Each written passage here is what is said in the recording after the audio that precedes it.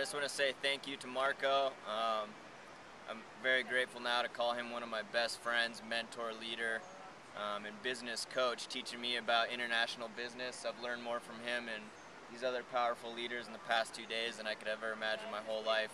Always been a hard worker, but never known the right way, and it's it's incredible. I mean, free training from these guys, it's unreal. I could never even imagine I'd be in the position I'm at now, so so very grateful.